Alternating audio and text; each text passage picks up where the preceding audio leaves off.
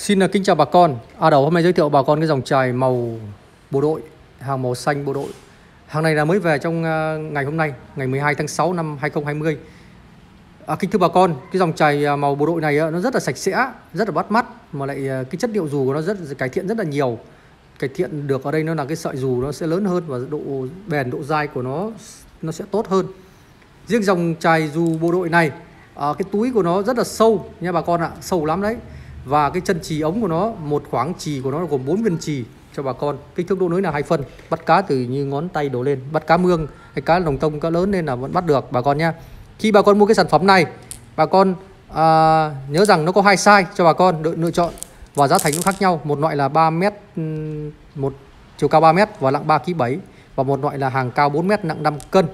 Chân toàn bộ là chân chỉ ống để cho bà con quăng. Đỡ bị rối đỡ bị mắc đấy bốn viên trì bốn cuốn trì bốn trì cho bà con. Đấy, túi rất là sâu chứa cá đây bắt cá từ cá nhỏ nhá. Bắt cá từ cá nhỏ cho đến cá lớn từ hai ba cân cho đến năm bảy cân vẫn ok luôn không vấn đề. Bà con à, đặt hàng sản phẩm này à, liên hệ với A Đấu tại vì số lượng cái hàng này về không có nhiều bà con ạ. Tại vì A Đấu mới về để thử nghiệm cho bà con xem như thế nào. Tại vì chất lượng của nó chắc chắn là A Đấu cam kết rằng nó rất là chuẩn luôn rất là tốt luôn. Đấy về cái linh chống xoay chống xoáy đầy đủ cho bà con.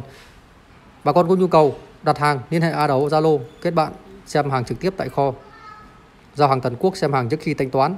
Bà con nhớ đăng ký kênh cho A Đấu nha đăng ký, mạnh tay lên cho bà Đấu xin cảm ơn.